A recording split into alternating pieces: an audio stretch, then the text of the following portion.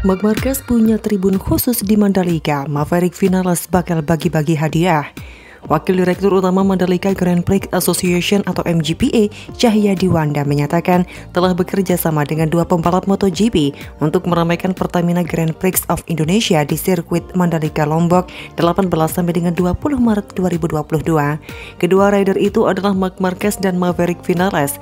Dalam media The Brief Virtual ITDC dan MGPA pada Rabu 2 Maret 2022, Cahyadi menyatakan bahwa pihaknya memang sedang giat-giatnya melancarkan berbagai strategi strategi promosi untuk memeriahkan MotoGP Indonesia. Salah satunya adalah menggelar program Mandalika GP Hub di Jakarta.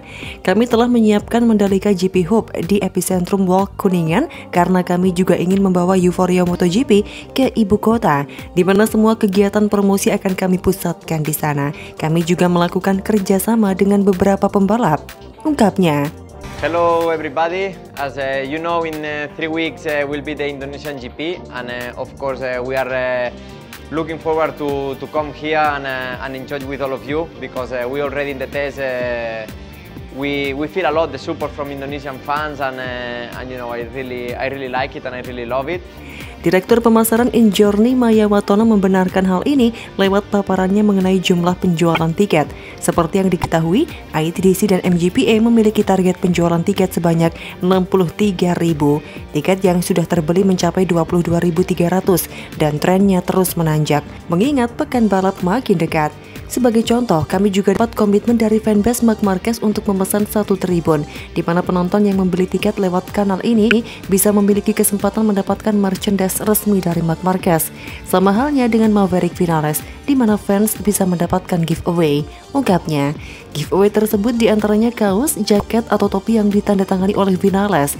Kedua pembalap inilah yang bekerja sama dengan kami demi memberikan pengalaman luar biasa kepada para penggemar. Kami pun sangat senang ada penonton di tribun ini yang merupakan penggemar berat keduanya. Lanjut Maya. Maya pun menyatakan bahwa tiket terlaris yang dibeli oleh masyarakat sejauh ini adalah tiket pada hari ketiga. Namun ia meyakini bahwa tiket hari pertama dan kedua juga akan terjual dengan baik, mengingat adanya sesi latihan dan kualifikasi yang tak kalah seru untuk ditonton.